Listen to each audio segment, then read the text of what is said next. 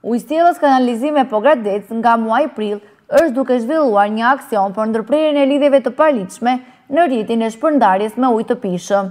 Gjatë inspektimeve në terren, sipas Valjona Saros, përgjegjëse për financimet e huaja dhe koordinatore projekti, grupet kanë konstatuar raste shkeljesh ku më të shumtat janë në njësitë administrative Sidomos në njësinë Buçimas dhe ndaj shkelësve janë marrë masa. Fokusi i këtij aksioni është evidentimi dhe kapja e kundravajtjeve në rrjetin tonë dhe abuzimeve me rrjetin e ujit të pijshëm.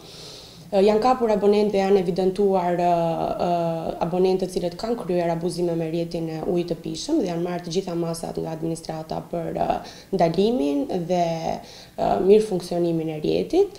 Në rastin e lidhjeve të paligjshme, masat janë administrative, janë ndaluar kryerjet e dëmtimeve në rrjet, janë evidentuar dhe problematika të tipit tubacione të cilat janë dëmtuar nga disa abonentë për të marrë furnizim ujë të pijshëm në mënyrë të paligjshme.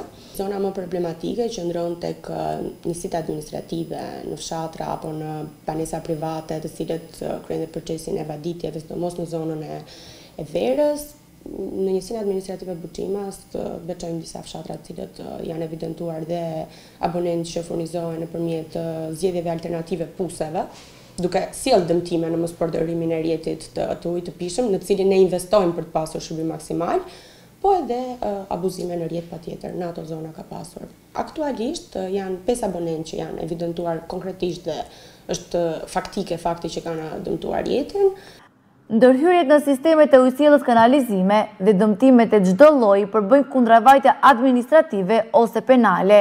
Procesi i verifikimit të lidhjeve të jashtëligjshme nga grupet e terrenit do të vijojë në të gjithë rrethin e Pogradecit me qëllim shmangien e abuzimeve me ujin e pijshëm.